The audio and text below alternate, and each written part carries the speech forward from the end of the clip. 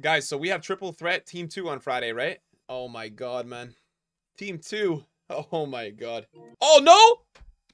No? Holy hallelujah! Oh my god, new promo Friday. Oh, it's lit. God bless.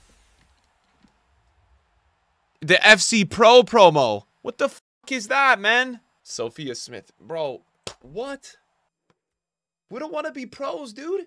Yeah, but EA, guys, EA is so genius, right? Because they put that pack and all you rats watch it and they get like 300,000 people. And then they put out on a public, like, like tweet or whatever like this is what you you guys are loving the pro scene this year you know that's why you guys can't go get that pack man it's a trap it's a trap bro because then they say like oh you guys we it's been so loved that we made a promo not gonna lie it was a good watch was it actually entertaining damn man i'll, I'll have to watch if you vouch because like i figured it was gonna be pretty dead with the cutbacks but what was the main way people were scoring? Tekkz went 7 and 0. Damn, dude. Just straight DDA. Lot of Dino plays. All right, I'm gonna have to check it out then. Yeah, now the Dino play, it's very like, there's very, uh, it's tough, man. There's very certain like, oh,